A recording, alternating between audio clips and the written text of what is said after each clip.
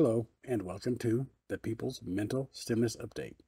In today's update, we're going to be talking about cryptocurrencies and other stocks. I know I've talked about this before, but if you've been watching the cryptocurrency stocks as far as Dogecoin goes and Bitcoin, as well as Ethereum, Ethereum Classic, as well as other cryptos go, you're noticing that how they are fluctuating and they're not really going up that much.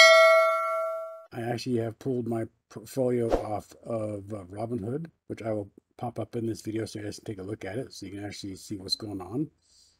But I've noticed in the past couple days the cryptocurrency has been staying at like 29 to 32 cents per share as far as Dogecoin goes, whereas Bitcoin has been in like the 30,000s. I wish I could have actually bought Bitcoin back when it was first starting out because, damn, I'd have a lot of money by now. And as far as my uh, friend out there, Tommy, goes, that's right, my friend. I got the I got the second COVID vaccine. Yes, on was it? Yeah, on Saturday actually. And the, all day yesterday, I was so out of it. I had a low grade fever. My whole body hurt. I had a massive headache. I had no appetite. I wasn't really feeling that good at all yesterday. But today, I am feeling 100% better I was warned about the side effects of the um, vaccine. And you know what? It's either take the vaccine, I figure it was either take the vaccine and protect those people that actually have a compromised immune system as well as the elderly, or be like those anti-vaxxers, anti-maskers out there that thinking that by taking the vaccine, they're going to become one of the government's puppets. Well, if I become a government puppet, then I guess I'm a government puppet, right? But I'm, i figure I'm just going to take care of the um, senior citizens and people with compromised immune systems out there first. That's why I got the vaccine. But like I said, I mean, I have a short little uh, video for you that I actually filmed, filmed on my phone showing you my current, uh, basically, uh, stocks with Robinhood. I have a total of six apps that I actually do use on my phone to invest in. I mean, one of them gave me a free stock that that's the only stock I have on there, and that would be, uh, what's it called? Oh my gosh, I almost remembered. Let's remember what's called there. How's that? So I don't know. it is called Firstrade. I signed up just so I can get the free stock to see what it was. They gave me the free stock of Nokia, which last I checked, uh, see my fingerprint scan, I can always ask me to do, is at $5.16. It went up by 9 cents today, or should I say yesterday. And uh, went up by 9 cents on Friday. Hasn't gone up yet since markets have been closed because of the holiday. Like I said, I use uh, Robinhood, Doe, Coinbase, Firstrade, Gemini, and Crypto.com. Crypto.com gives you, uh, will waive the $2.99 fee for the first 30 days of your membership with them which I think is a joke that they're actually going to charge you to do every transaction of $2.99, which means you don't make a whole lot. I've also invested, thanks, I've invested in Gemini. Uh, let's see here. Whoops, I just backed out of it. My bad. Let's see here. Fingerprint scan, of course. Got the biometrics. Um, I've invested $34.05 into an AMP coin. It's another form of cryptocurrency. It has not been doing too good lately. I mean, and I've also invested like $5 into GUSD, which is the Gemini US dollars. And they're guaranteed to stay at $1 no matter what, but you'll also get interest on them as well. Right now, mine says I have 30 days of interest, but it's pending for the full, full, full 30 days for it to happen first. But um, like I said here, we got we, we got amp coin which like I said, right now is uh, down 0.36% for today. But like I said, it's been fluctuating just like uh, most other cryptocurrencies have. Whereas GS, G, the GUSD actually, which is a Gemini US dollar, still stays the same at $1 no matter what.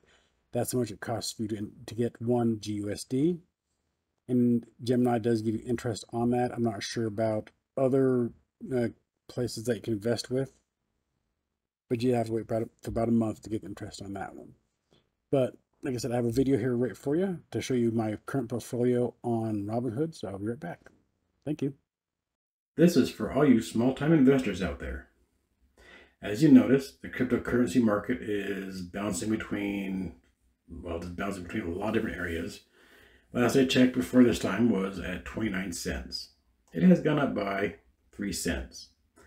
To those big time investors that can invest millions and millions of dollars in it, that's a good profit margin. But for us small time investors that can only buy a small amount, because as you can see, I have $701 in the crypto market market. It is still going up. As you look, my profit was at $1 at one time, and now it's going down. But that's to be expected. But if you actually want a good profit margin buy-in thing, if you look at my top four buy-ins, SNDL, Huge, OGI, and IMCC, they're all in the green, which means they've all made me a profit. I mean, this one I have uh, 13.069005 shares. As you look at the line, it's been going up, it's going down, it's been going up. And it's basically, if you look, so far I've made $2.11 off this one alone. Now, if we go back to my other ones, the OGI, which these are all cannabis markets, mind you. You notice of this one, I've also made $1.21. I mean,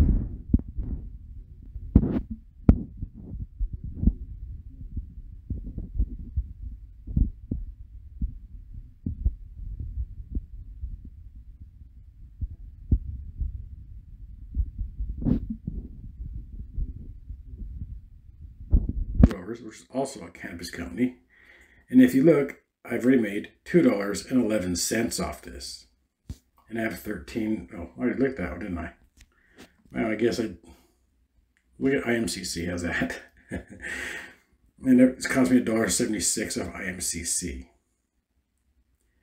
But that's okay because I only have six shares and each share only costs me $4.88. And if I sell right now, I'll get $27.54 out of it compared to the fact that I probably paid about 30, 30 bucks for it. That's still not a bad profit margin. So basically, as you can see, I mean, if you if you want a short-term growing process, stick with the ones actually, yeah, they may vary, but in the long term, in the long term, the more you have, the more you make. Whereas in the cryptocurrency market, as you notice last time I showed you, it was at 32.5 cent. It was at 0.325 something. And as you noticed, it has dropped down to 32.4. And as you look, the profit margin I've been making has been dropping as well. We only have like $7, 701 shares, so that's not a big deal. So if you really want a good investment market, like I said, try the one the stocks that actually don't vary between certain things. Because if you look, they want the 32.5 again and it's going up. And as you saw, I mean, my portfolio is not that diverse as it should be, but is I do have like five stocks on there. Four of them are in the cannabis industry, which are actually doing very, very good.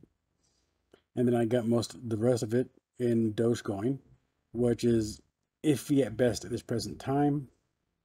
But I'll let you be a judge of yourself. I mean, you, you I mean, I'm investing in both the long term as well as the short term gains. That's why I've invested into the cannabis stock, is because I figure it'll go up, and when it goes up, my profits will go up with it.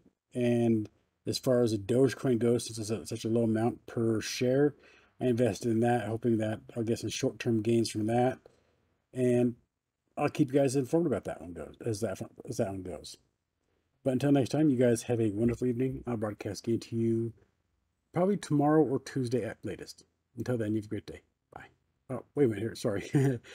not not Tuesday, Wednesday at latest. Sorry about that. I keep forgetting it's Memorial Day, and everyone, please have a wonderful, safe Memorial Day out there.